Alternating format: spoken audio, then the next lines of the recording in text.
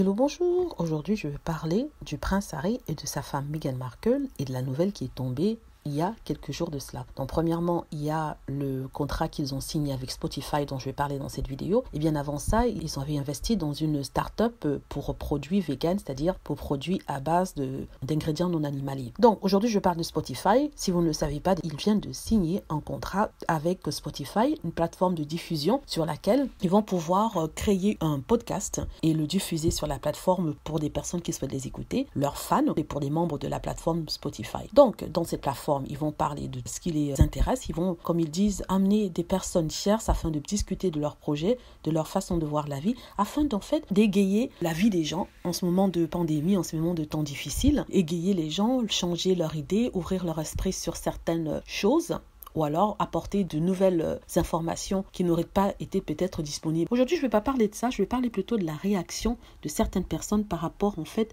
au fait qu'ils aient signé ou investi. Parler des réactions des personnes quant à ce projet-là. Certaines personnes disent que c'est embarrassant de voir le prince Harry et Meghan Markle avoir une émission, qu'ils ne sont pas qualifiés pour ça. Premièrement, vous n'avez pas besoin d'être qualifié pour signer un accord de podcast avec Spotify. N'importe quelle personne peut créer une radio sur Spotify, on peut créer du contenu sur Spotify. La différence c'est que Meghan Markle, avec leur statut et leur plateforme et les personnes qui les aiment, ils ont plus de pouvoir que un petit chacun comme nous. Donc c'est tout à fait normal qu'avec cette plateforme-là, ils puissent bénéficier des retombées d'une telle chose parce que bien sûr, s'ils le font gratuitement, tout l'argent serait allé à Spotify qui n'aurait peut-être pas reversé ça aux associations comme souhaitent le faire Harry et Meghan. Donc ceux qui aiment bien les critiquer sans vraiment de raison, ben voilà une explication qui pourrait peut-être répondre à vos questions. Et deuxièmement, il faut dire que Meghan Markle vient du monde et des médias, donc elle sait parler, elle sait expliquer, elle a des choses à raconter, elle a des choses à dire. Pareil pour le prince Harry qui a créé les Invictus Games, qui est allé en guerre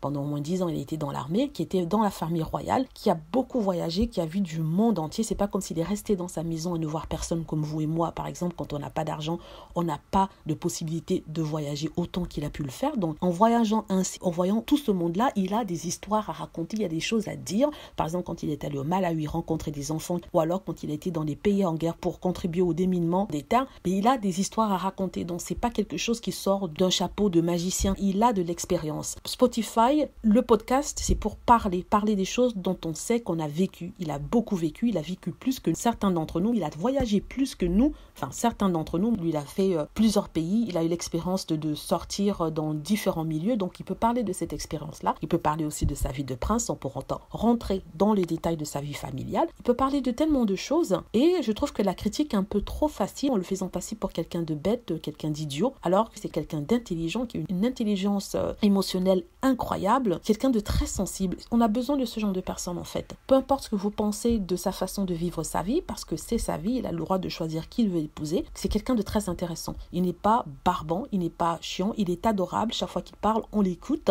Moi, personnellement, vous pouvez ne pas l'aimer, mais il ne faut pas lui retirer quand même ça, parce que ce serait injuste. De toute façon, les fans de Meghan ont dit qu'ils étaient là pour les soutenir. Voilà, c'est tout ce que je voulais dire. J'espère que vous avez aimé la vidéo. N'hésitez pas à cliquer sur like si c'est le cas, à vous abonner pour plus de vidéos et à cliquer sur la petite cloche afin d'être averti lorsque je poste une nouvelle vidéo. Merci.